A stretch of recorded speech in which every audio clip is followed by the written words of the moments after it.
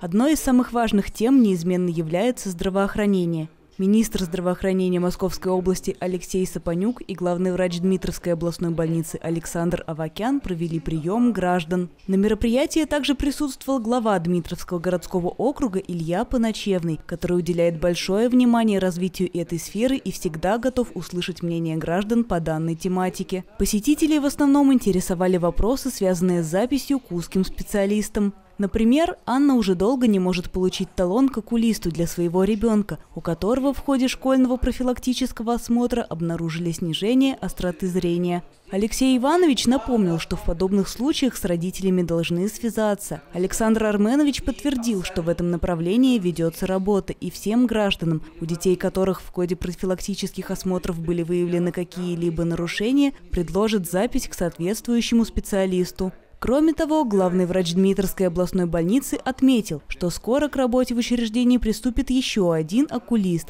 благодаря чему местные жители смогут быстрее записаться на прием. Матери Сергея назначили электрофорез, и ей приходится ездить на процедуру в Яхрому. Мужчина обратился к министру с вопросом о том, когда в Дмитрове появится физиотерапевтическое отделение. Оказалось, что ждать осталось недолго. Оно откроется в здании взрослой поликлиники, когда там завершится ремонт, то есть уже в конце этого года.